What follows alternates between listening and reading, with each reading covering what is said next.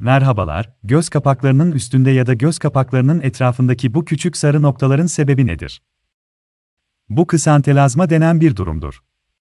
Peki, bunu araştırırsanız, bunun nedenleri hakkında çok fazla bilgi bulamayabilirsiniz. Hamilelikte, diyabette, obezitede, hipotiroidizmde, safra kesesi problemlerinde ve benzeri durumlarda daha yaygın olduğundan bahsederler. Bu yüzden biraz derin bir araştırma yaptığımda, özellikle safra kesesiyle ilgili bazı ilginç bilgiler buldum. Çünkü burada olan şeyi düşünürseniz, deri altında oluşan bu kolesterol birikintilerini doğrudan göz yoluyla aldığımızı görürsünüz. Ama bunun ne olduğunu gerçekten düşündüğünüzde, derimizin hemen altında bu kolesterol plaklarına sahibiz. Peki, vücut neden bu deri altındaki kolesterol birikintilerini geliştiriyor? Neler olduğuna dair bazı ipuçları vardır. Primer biliyer siroz denilen bir durum vardır.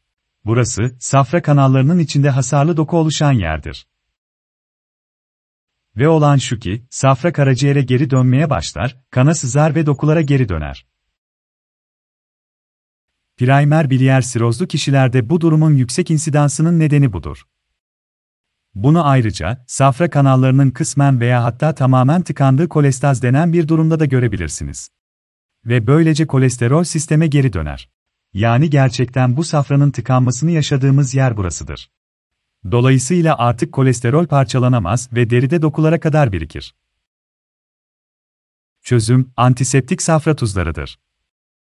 Safranın emülsifiye edildiğinden ve parçalandığından emin olmak için ve kanalları açmak için düzenli olarak almaya başlamalısınız. Bu çok ama çok önemlidir.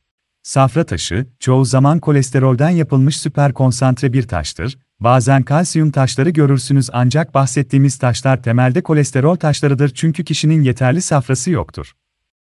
Ve bu durumda da aynı şekilde, safra eksikliğimiz vardır ve ardından kolesterol göz çevresinde plak gibi birikir.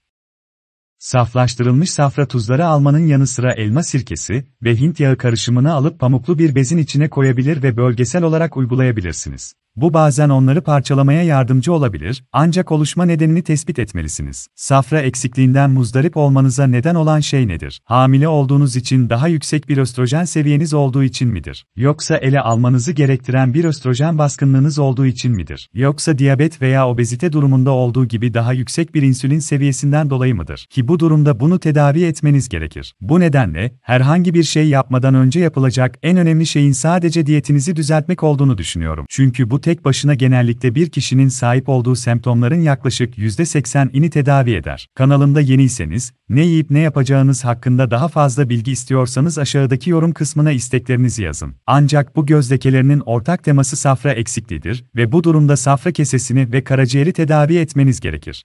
Ayrılmadan önce, videodaki bilgilerden faydalanırsanız, başarı hikayenizi duymayı çok isterim. Lütfen aşağıdaki yorum kısmında paylaşınız, sağlıkla kalın.